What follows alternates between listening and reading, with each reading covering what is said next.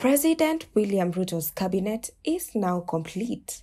After the 24 appointees took the oath of office, the swearing in ceremony was presided over by the head of state, President William Ruto.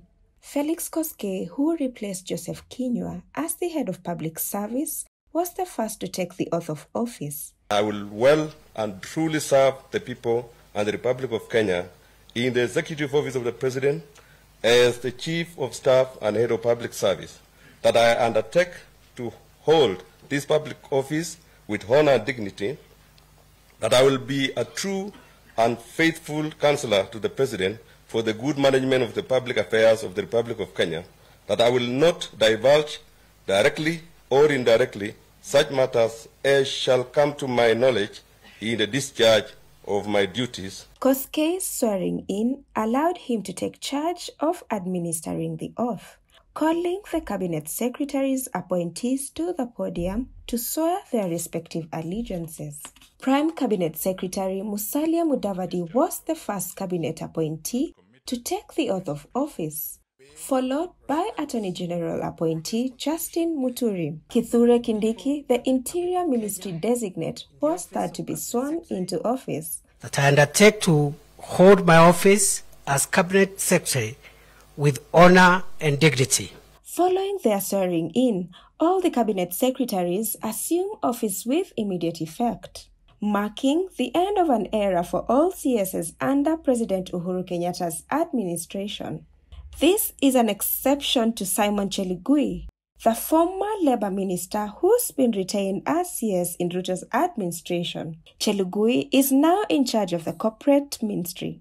and that I will perform the functions of my office conscientiously and to the best of my ability.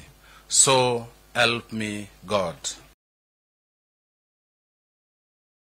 Speaking after the 24 cabinet appointees took the oath of office, President Ruto said that the newly appointed cabinet secretaries had no option but to serve the electorate to their best. in the discharge of your duties in the various ministries that you will be serving, you will have my wholesome support. You will have my support because you have no option other than to succeed. Uh,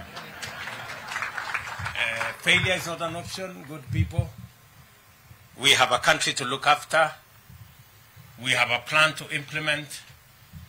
And we have the people of Kenya watching us. So you will have my unqualified support so that you can succeed because in your success is the success of our administration and the success of our country. The president further called for mutual respect between the cabinet and elected officials. He noted that the CSs will be appearing to parliament to present their plans and progress of their dockets and to be held accountable for their dockets. We have agreed with the legislature that they will provide a platform for us as members of the executive to access the floor of the House so that we can explain our agenda. We can explain our programs.